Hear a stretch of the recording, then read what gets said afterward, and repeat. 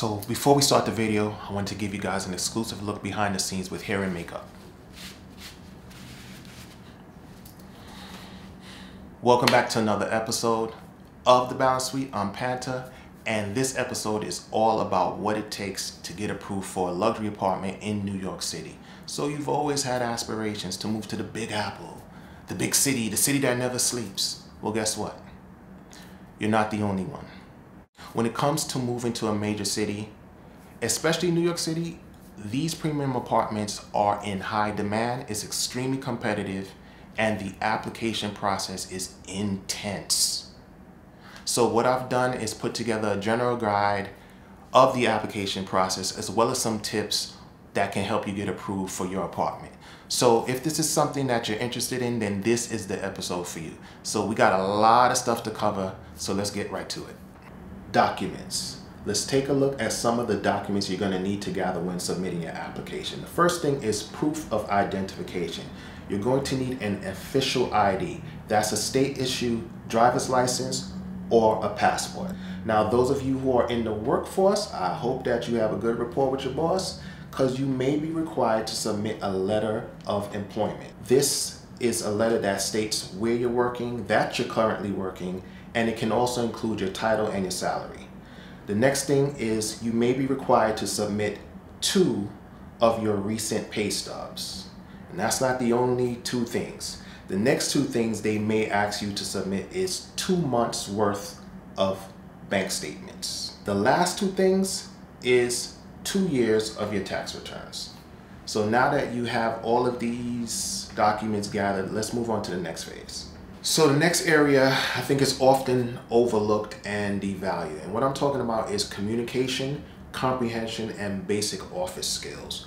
So when it comes to communication, you have to understand that the application process is like a dance between you and the landlord or the management team.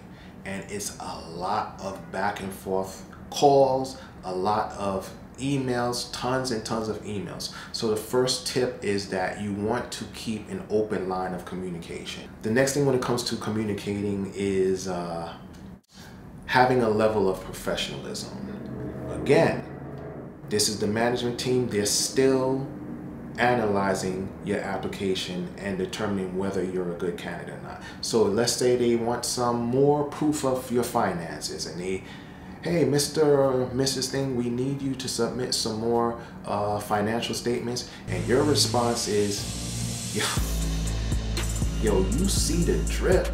You see the bust down, like, yo, yo, my bank account mad long. You talking about more proof, yo. Like, yo, I don't need to cap, yo. Like, my money long asks about me.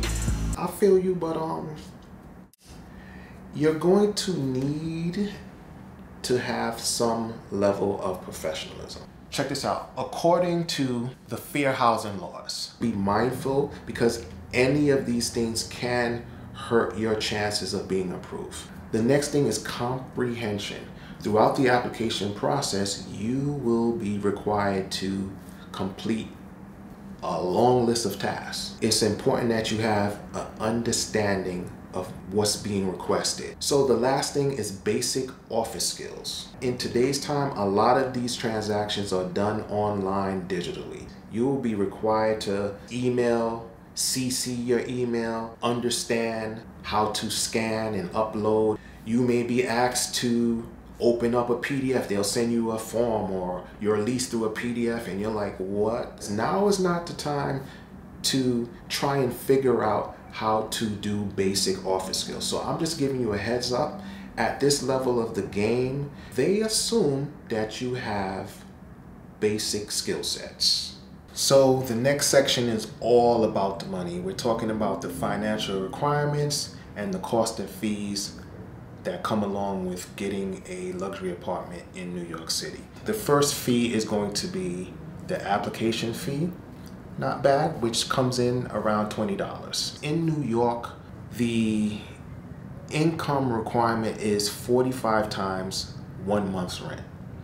So a premium apartment in a affluent area in New York City will start off around 5,000. So that's what we're gonna use for an example. So 45 is the multiple, 45 times the five, you're looking at 225 $5,000 in annual income to meet the requirements. Now, if you are a entrepreneur, due to the volatility and the variable annual income, landlords tend to think you're more high risk. The landlord may ask you to get a cosigner or a guarantor, and that is basically someone who's willing to, if you default on your rent, they will cover the cost. If you decided to use a realtor or a broker, there is a fee. In New York, it's going to cost you 15% of the annual rent. Moving along, security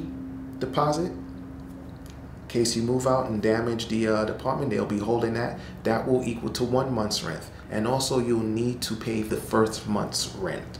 Or sometimes they say the last, either or. Let me, let me activate my brain. So let's go over some of the different scenarios and what it would cost. So let's say you needed everything. You needed a guarantor and you used a broker to get the apartment. So 5000 for the security deposit, 5000 for the first month's rent, 5000 for using an institutional guarantor, and $9,000, that's at 15, The cost of a New York apartment can range from 10000 all the way up to $24,000 depending on your scenario.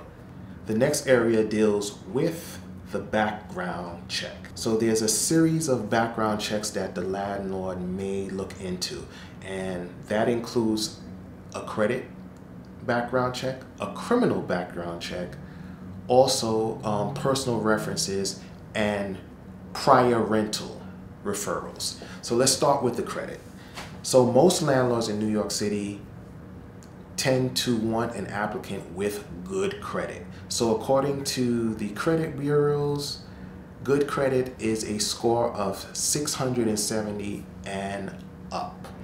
So the next area is the criminal background check, and that's going to look into whether or not you have any major felonies or if you're a registered sex offender.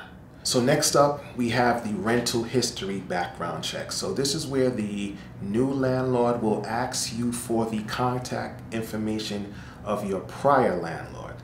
Yeah. Now some landlords in some buildings may require you to submit personal and professional reference letters. The personal will deal with more of your character and the professional will attest to your work experience and your skill sets. Now that you have passed all of the background checks, you have all the available funds and you meet all of the financial requirements, hey, it's approval time. Now hold off on the celebrations. My first apartment had a four-page lease. I do not know if the luxury buildings in New York City at this time is using the Johnnie Cochran firm because they sent me over a 62 page lease. I mean, it was like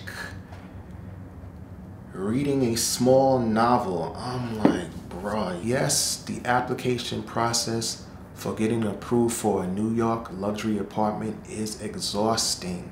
However, the rewards outweigh the inconveniences. So I encourage everyone to keep on pushing and run the race at your own pace and do not allow time restraints to be an added burden.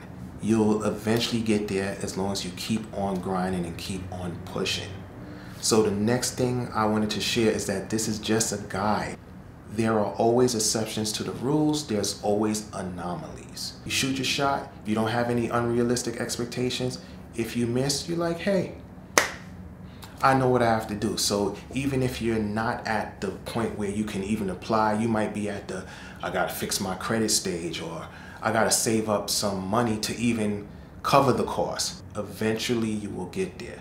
So I wanna send you an early congratulations and if you found any value or this video helped to motivate you, the only thing I ask is that you send me an invite. so once again, thank you for spending some time with me. I appreciate it. I love you neighbors and may peace be with you.